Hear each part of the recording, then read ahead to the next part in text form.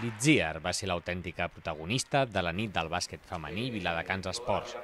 Pateix una malaltia desconeguda i al llarg de tota la temporada el club lluirà a la samarreta el lema Nos movemos por Itziar, com a mostra de suport. No va ser l'únic moment emotiu. Més d'un centenar d'esportistes de totes les edats damunt la pista van celebrar l'inici de temporada i els 15 anys que han passat des de la formació del club. Bueno, yo, estoy muy contenta teniendo en cuenta que llevo aquí desde el primer día.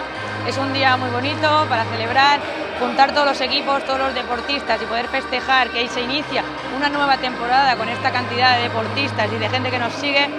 A nivel personal y como club es muy, muy, muy satisfactorio para nosotros. Sota la temperada del president de la Federació Catalana de Bàsquet, una darrere l'altra es van anar presentant totes les seleccions que enguany participaran en les diverses categories del bàsquet català, amb especial atenció a l'escola, l'autèntica joia del club. Estamos muy contentos, eh, los niños crecen, van subiendo, la proyección, el futuro y luego sobre todo pues bueno, estamos contentos en el sentido solidario y también bueno, en todos los aspectos sociales.